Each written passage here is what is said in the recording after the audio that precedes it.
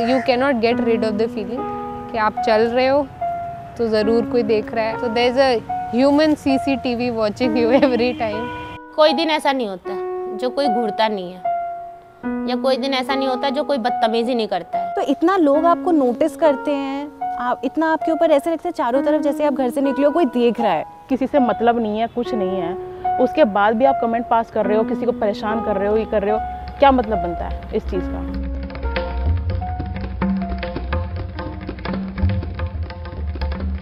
अगर हंसोगे नहीं किसी पे कुछ नहीं कहोगे तो वो क्या पागल है जो आपके पीछे आएगा? बार बार मुड़ के देखना और आँखें मटकाना मेन इनका ये होता है। कोई गर्ल घूम रही है सिगरेट वगैरह तो उस तरफ़ तो बॉयस जाएगी।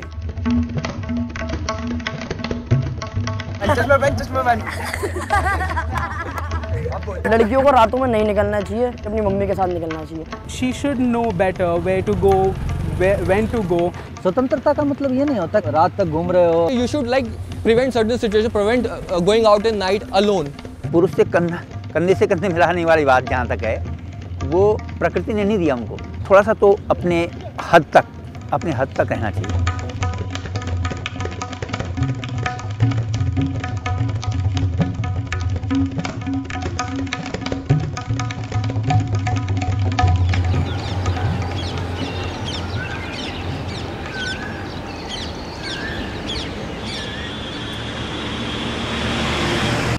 टाइम जब आप तैयार हो रहे हो सुबह तो you have to keep in mind कि आप क्या पहन रहे हो और आप किस जगह जा रहे हो। बहुत सारी लड़कियाँ करती हैं कि they will tie their hair और they wash their face from wherever they are coming कि मेकअप तो फ्लैशी नहीं है कि मुँह देख के ही किसी का दिन बन जाए।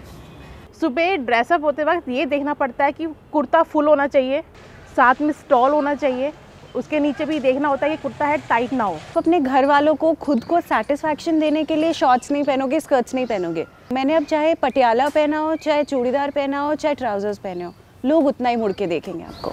उनको ये अच्छा लगता है कि मुझे ये कपड़ा अच्छा लग रहा है तो वो अपना कपड़े पसंद का पहनते हैं। किसी को फुल कपड़ा पसंद है किसी को हाफ़ कपड़ा पसंद है।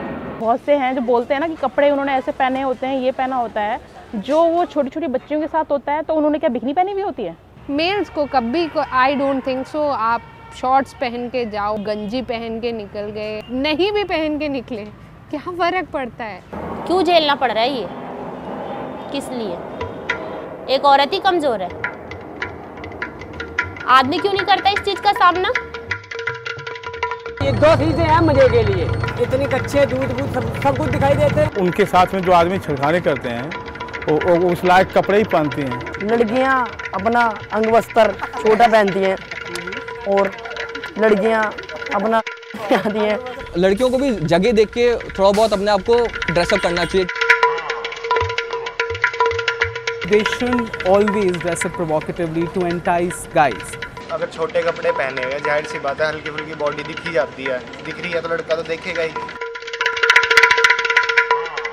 जो कपड़े ठीक ठाक नहीं पहने हुई हैं लेडीज़ उनकी तरफ़ ज़्यादा आकर्षित हो ये मनोविज्ञान है वो भी। फ्रॉइड का मनोविज्ञान आपने पढ़ा ही होगा। ज़्यादा छोटे कपड़े पहनने से आदमी की नीयत खराब हो जाती है और वो बेकाबू हो जाता है। सूट सलवार बेस्ट है लड़कियाँ सूट सलवार में भी अच्छी लगती है। लेकिन शॉर्ट्स कपड़े का वही मतलब है कि लड़के मेरी तरफ़ अट्रैक्ट हों। आप कपड़ों का रूल निकालो कि आप ये ही पहनोगे। आप टाइमिंग बाँध दो कि आप इतने टाइम से इतने टाइम तक ही लड़कियाँ बाहर निकल सकती है या ट्रैवल कर सकती है या ये कर सकती है उसके बाद अलाउड नहीं है। तो उसके बाद देखा जाएगा कि रेप होता ही नहीं होता। Everybody can just ask the girls to be cautious nobody is asking the guys to not do it the current situation is ki all the girls are taking all the precautions and the guys are like loitering around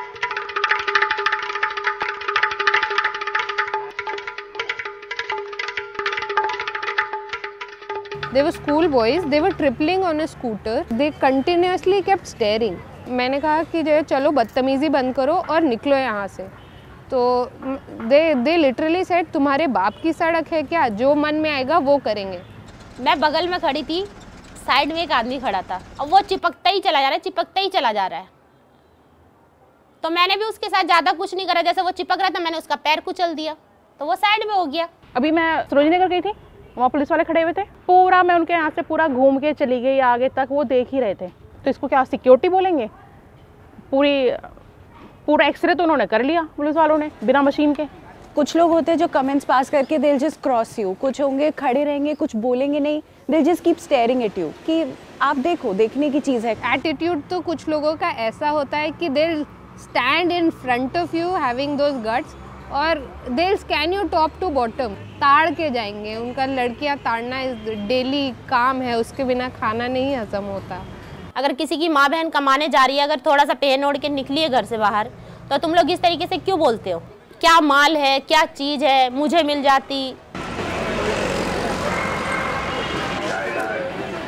जो छोटे रास्ते हैं, जहाँ से SO2 से कोई भी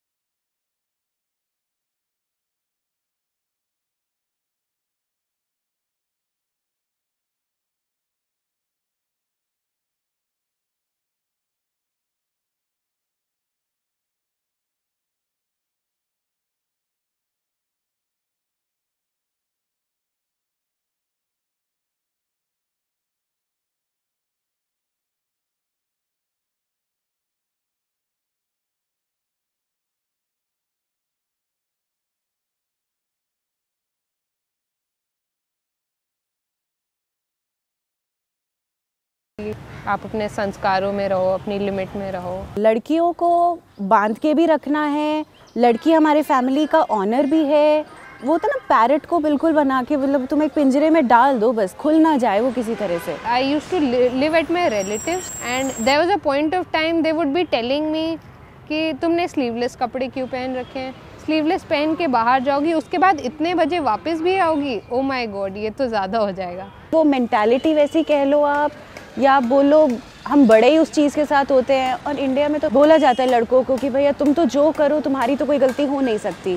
कोई नहीं देखेगा ना कि शायद लड़की नॉर्मल अगर अपनी ज़िंदगी भी जी रही है तो वो उसको शायद करने का उतना हक नहीं है। लड़के कितने बजे घर से निकल रहे हैं, कितने बजे आ रहे हैं, क्या पी रहे हैं, क्या खा रहे हैं, किसी को नहीं पता, कोई पूछता भी नहीं है। ऐसा क्या कर दिया है आपके मेल चाइल्ड ने आपके लिए कि आप उसे कितनी भी बजे तक घूमने दो और मोस्ट केसेस में चाहे कैसे भी हो लड़के निठल्ले होंगे लेकिन लाडले ज़रूर होंगे।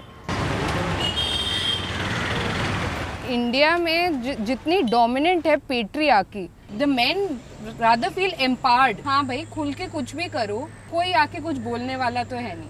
कमज़ोर इसलिए समझते हैं कि वो लड़की है वो कुछ कर नहीं सकती है। जितना हमारे अंदर ताकत है इतना उस लड़की के अंदर ताकत नहीं है। बदलाव इसी उससे आएगा पहले तो बात करना शुरू करो। दूसरा एक्सेप्ट करना शुरू करो कि अगर कोई लड़की अंधेरे के बाद या रात के 11-12 बजे भी बाहर घूम रही है तो उसका कैरेक्टर खराब नहीं है। The kind of freedom you give your male child should be given to the female child as well उसने क्या गलत किया है? कि शी doesn't deserve कि वो इतने बजे तक बाहर रह सके वो लाइफ एंजॉय कर सके।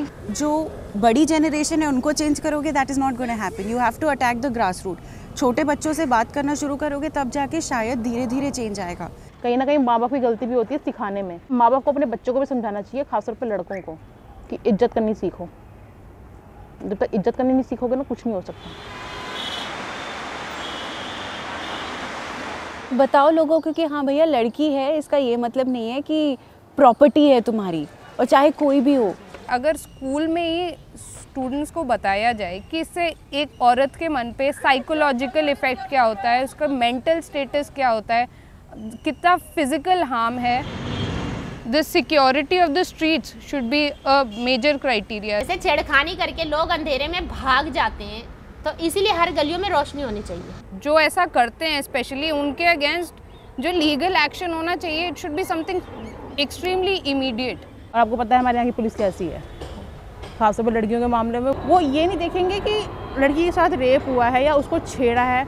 लड़की में बुराई होगी ऐसे निकल के जाती थी कपड़े पहन के। कुछ लेडीज़ में भी कमी निकाल देते नहीं वो लेडीज़ ऐसी है तभी तो उसके साथ ऐसा हुआ है। कभी औरत को ये ना सोचे कि ये कमज़ोर है।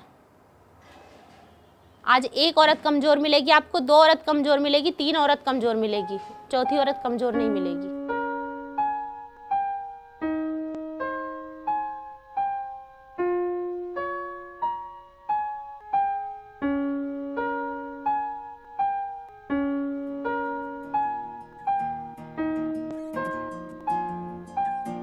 दिल्ली अगर सेफ़ होती है हम तो रात के बारह बजे भी बाहर घूमते। लेकिन हमारे माँ बाप भी तो छोड़े। खासतौर पर लड़कियों को। लड़के तो ऑब्वियसली वैसे भी ग्यारह ग्यारह बजे तक घूमते रहते हैं उनको भी फ़र्क नहीं पड़ता। I really like long drives at night तो I think so that will be one thing I would really like doing कि or maybe a very long walk at night which I would love to take in like deserted streets and all. हाँ शायद दो तीन बजे तक घूमती and most probably शायद CP ही घूमती क्योंकि जगह अच्छी लगती है। हर तरह की जगह है वहाँ पार्क में बैठना है रेस्टोरेंट में बैठना है। कॉफ़ी पीनी है, जो करना आप कर सकते हो वहाँ। जैसे कुतुब मीनार हो गया, लाल किला हो गया, नजाम जमा मस्जिद हो गया, इन सब जगहों पे जाओ, अपना थोड़ा टाइम बिताओ। मैं तो कहती हूँ, जिस दिन अगर ऐसा हो जाएगा दिल्ली के अंदर तो उस दिन दिल्ली का काया ही बदल जाएगा। दिल्ली ही बदल जाएगी, फिर औरतों का राज आ जाएगा और आदमियों का